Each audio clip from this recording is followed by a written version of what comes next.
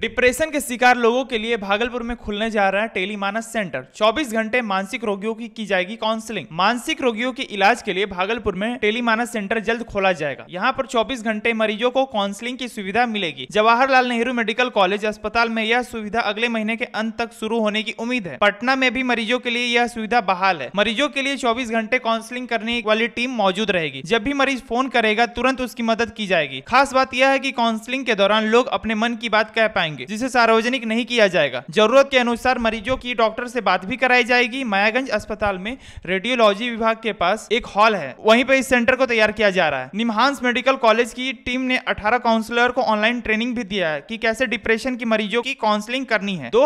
से पहले medical college अस्पताल के ओपीडी में हर महीने 700 से 800 मानसिक रोगियों का इलाज होता था लेकिन कोरोना के बाद हर माह 1200 से 1300 मरीजों का इलाज हो रहा है 30 बेड का मानसिक रोग विभाग 10 बेड के नशा मुक्ति केंद्र भी मरीजों से हमेशा भरा रहता है टेली मानस सेंटर में मौजूद काउंसलर ऑनलाइन कंप्यूटर स्क्रीन पर देखते रहेंगे की कौन कहाँ से बात करना चाह रहा है उसी आधार पर काउंसलिंग की जाएगी उससे बातचीत के आधार पर उसके मन की बातों को निकालने का प्रयास किया जाएगा इससे पता चलेगा की वह व्यक्ति किन किन कारणों से डिप्रेशन में है फिर उसी तर्ज पर काउंसलर जवाब देंगे अगर वह संतुष्ट हो गया तो ठीक है अन्यथा उस व्यक्ति को किसी नजदीकी सरकारी अस्पताल में भर्ती करवाकर मेडिकल कॉलेज अस्पताल बुलवाकर इलाज भी किया जाएगा अभी आसपास के जिलों से आने वाले मरीजों को ओपीडी में डॉक्टर चेकअप करते हैं जिन्हें भर्ती करने की जरूरत होती है उसे भर्ती कर लिया जाता है बाकी मरीजों को पंद्रह से तीन माह दवा देकर दोबारा फॉलोअप के लिए बुलाया जाता है इस सेंटर को खोलने का मकसद है लोगों की मानसिक चिंता दूर करना खास करके युवा वर्ग का यह एक ऐसा वर्ग है जिसमें ज्यादातर लोग डिप्रेशन का शिकार है और मानसिक तनाव के कारण आत्महत्या कर लेते हैं अब उम्मीद यह है की इस सेंटर को खोलने से कई लोगों की जान बच सकेगी